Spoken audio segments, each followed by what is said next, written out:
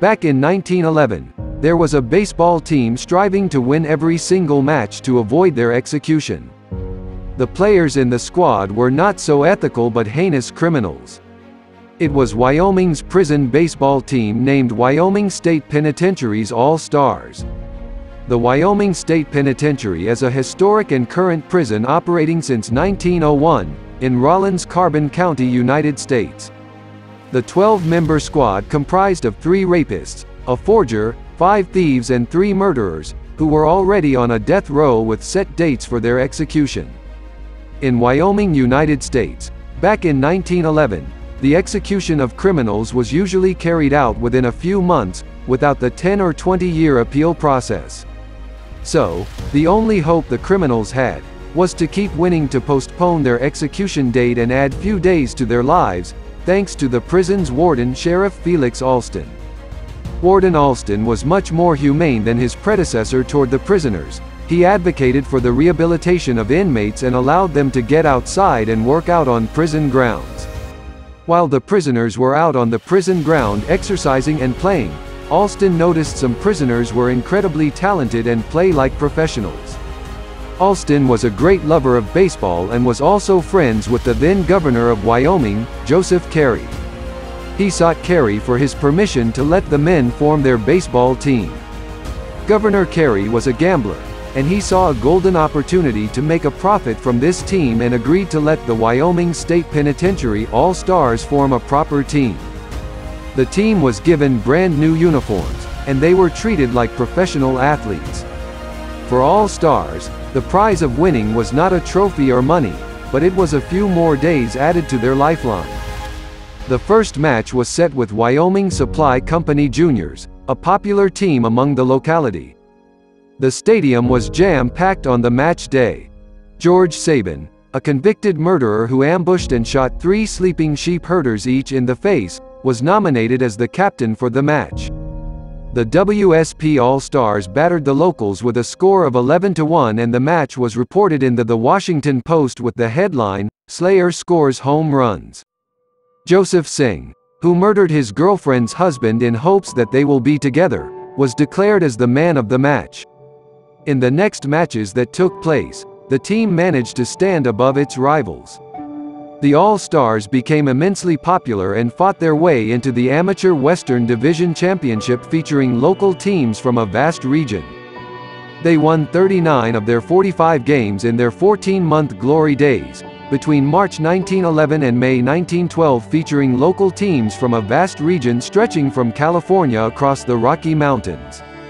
Joseph Seng scored home runs in almost all the matches he played. Betting and gambling were also running parallel to the games and many were making huge profits.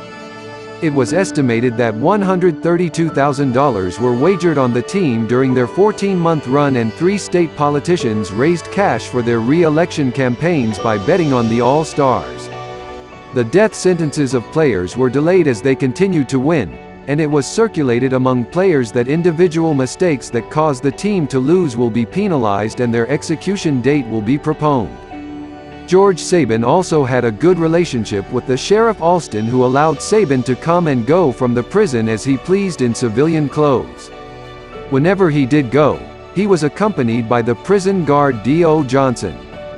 Saban developed a sideline as a bookie, going to local bars and taking bets on his team's games and a 20% commission from winning bets. He would provide gamblers with updates on the team's standout star, Joseph Seng and status of his appeal. During their glory days, the players started receiving special privileges compared to other prisoners. This does not go well with the other prisoners and they started complaining as to why the execution of players being delayed. Sheriff Alston continued explaining the delays, citing various procedural barriers to law. Wyoming people began spreading rumors that the governor had been involved in this gambling drama. So, he decided to create a new anti-gambling campaign to convince people he was not a part of it. He wrote a letter to Warden Alston showing his concern about the gambling and illegal money-making business out of the games. Warden Alston decided to discontinue his baseball team and instead utilize the funding to create an educational program for inmates.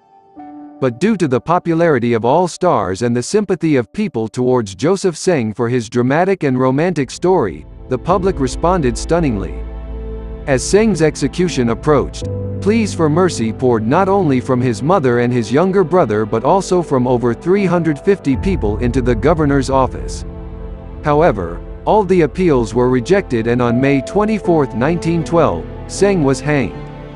George Saban managed to escape with help from the guard who had made a fortune from betting on the team and was never recaptured.